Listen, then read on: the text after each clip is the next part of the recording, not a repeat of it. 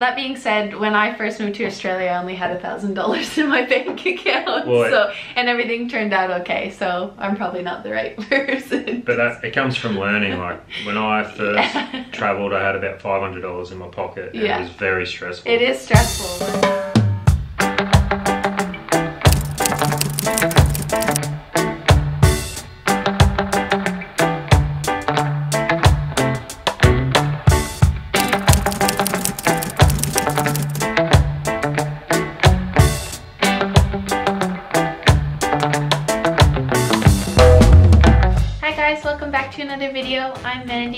And and we're digital nomads that are currently living in Bali, Indonesia. So today we're just going to be talking a little bit about what it's like being a digital nomad in 2022 during the pandemic. There's definitely some downsides, but some upsides as well. We've been doing this now for nearly three months. Before that, we were working online at home in Australia. So we've been in Bali for about two and a half months. We're actually looking at our next destinations. Around about New Year's, we wrote a list of places we wanted to go, and we're going to be elaborating on that a little bit as well. So Lloyd and I started pursuing working online about three years ago and now we're fully functioning working online and just we make money while we sleep and just have to open our laptops in order to make money.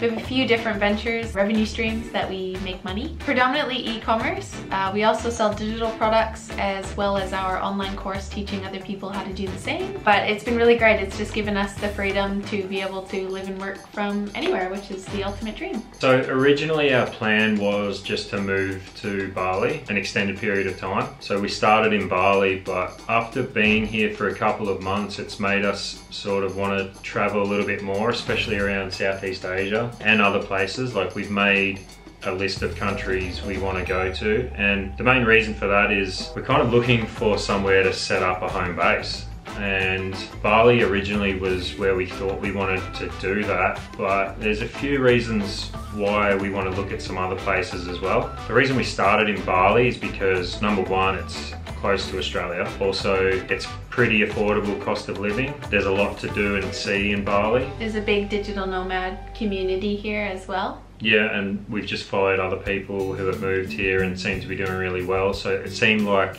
a logical place to start. But some of the downsides, I suppose, the biggest one is our dog Bear, who's at home. He's being looked after by my sister, which she loves. She loves Yeah. him and he loves it there.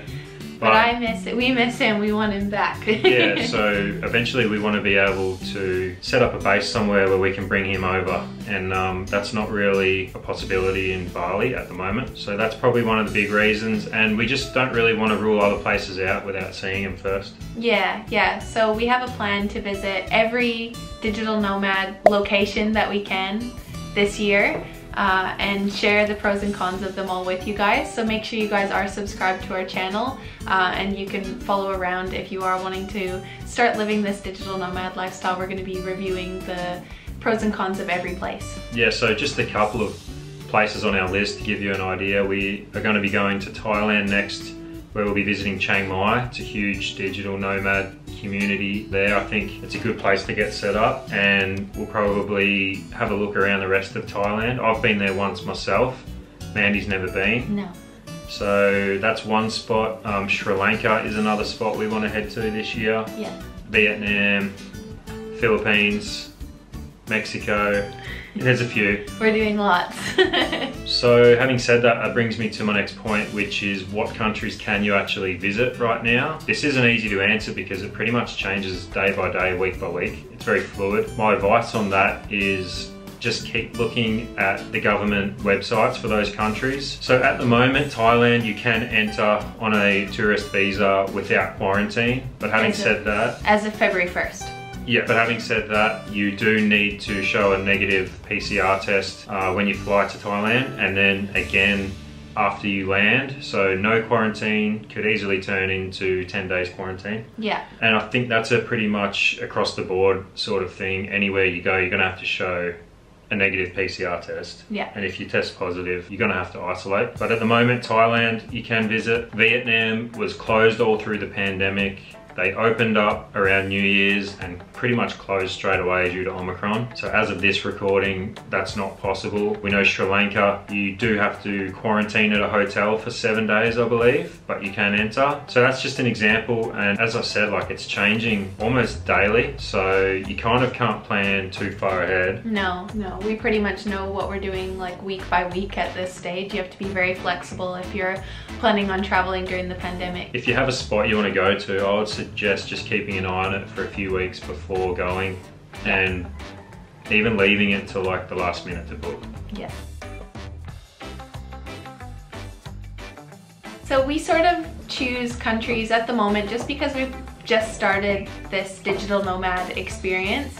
Uh, we have been working online for a while, but the fact that we can't just go get a job if, you know, work's a bit tight or anything like that, we just want to make sure that we're not too tight on funds and are still living a comfortable lifestyle.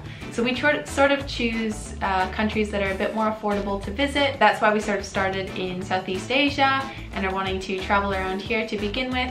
Money goes a little bit further, uh, as well as we want to help stimulate the economy here a lot more as well. Uh, more affordable countries for us Western Westerners to visit would be Mexico and Central America which are also on our lists for this year. You also have Portugal and other parts of Europe that are affordable for nomads as well. Yeah, and there are a lot of places that are affordable, good digital nomad spots, so just check them out. Do a quick Google search and you'll be able to find something there. So a question that we do get asked a little bit, and we see some comments as well, is about taxes and paying taxes in countries. So this can vary from country to country and it also depends on what visa you have. My advice is do your research on that country before going and before deciding what sort of visa you would want to get. But as a general rule, if you're only staying in a country for a couple of months, you don't have to pay taxes in that country. Maybe if you're staying for six months or more, you will have to file a tax return. It doesn't necessarily mean that you have to pay taxes, but you may need to file a return. So my advice, and I'm not a tax accountant, is do your research on each country's tax rules. So our top five tips for becoming a digital nomad in 2022 Number one would be to find a skill and something that you love and hone in on it. Uh, when Lloyd and I started, I loved all things creative. I loved, you know, videoing, editing, photography, modeling, uh, drawing, everything you can think of that was artistic and somehow I've managed to make a income on, on everything that I enjoy doing and I've progressively just learned how to get better at it through YouTube videos and doing small short courses online. For Lloyd, he really loved the digital marketing and analytical side, so he really honed in on that. So if you're wanting to become a nomad, you honestly can learn these things for free if you wanted anything that you're interested in and find a way to make money on it online. We've noticed since being here that a lot of typical digital nomads are actually people that have a certain skill set and they work for a company, they just work for that company online. We're a bit different in that sense that we don't have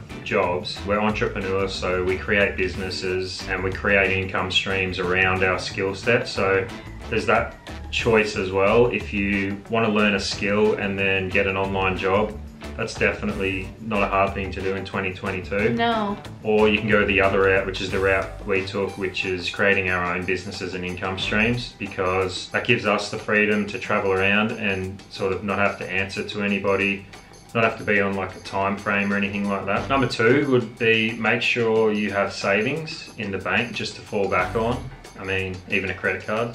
Yeah. Um, because you never know, it's more about what could go wrong. So you might be able to calculate how much money you need to live in, say, Bali, Thailand, or somewhere else. But you might run into a medical issue where you have to pay for that up front. You could get into some trouble there with maybe losing some items or getting things stolen that you have to replace. So it's always good to have savings to fall back on and that's what we've done. Yeah, um, traveling's continual problem solving and some things you just can't account for. That being said, when I first moved to Australia, I only had a thousand dollars in my bank account. Well, so, and everything turned out okay, so I'm probably not the right person. But that, it comes from learning. Like when I first yeah. travelled, I had about $500 in my pocket. yeah. It was very stressful. It is stressful, but it does teach you a lot of lessons. Yeah. But yeah, we're not condoning that, but also we did it. we often stay in co-working places because we really struggle with the work-life balance. Often, if we, for example, we stayed in Uluwatu and we were on the beach, we found we weren't getting any work done because we met the mentality and the chill atmosphere of what was going on there. But then when we came back to Ubud and we were in an environment where everyone was working around us, I know there were co-working areas in Uluwatu, but we just work a lot better if there's other people grinding and working around us. It can get quite tempting to just go off and do all the fun things and then you have no money to continue. So I do recommend as far as work-life balance, schedule your work time, then you can go and enjoy wherever you are as much as you like and you'll enjoy it even more knowing that your work is done. So usually how Lloyd and I do it, we will work for a few days at a time and then when we feel like we're just not being as productive anymore, then we'll take a couple days off. And then by the end of our couple of fun days, we're ready to smash work again. So our next tip would be to research the locations before heading there. Sometimes you might be surprised at how much the pandemic has actually affected areas that you still think might be busy. We were really surprised when we got to Bali that a lot of the places that we thought would be more happening and busy ended up being the most dead parts of Bali. So a lot has changed in the pandemic and that's why we're sort of sharing this information and our vlog with everyone because things are have changed a lot in the couple years. So definitely do your research, watch as many vlogs as you can and um, make your own vlog and help someone else figure it out for themselves. And our last piece of advice, if you are interested in becoming a digital nomad, is we do have our online course that's available uh, we teach all the ins and outs of building an online e-commerce brand. So we've left that down, the link in the description if you'd like to learn more. We teach everything how to run an e-commerce business from anywhere in the world and make money while you sleep. So hit the link below. And if you guys enjoyed this video, please hit the like button and subscribe to our channel and we'll see you in the next one. Bye!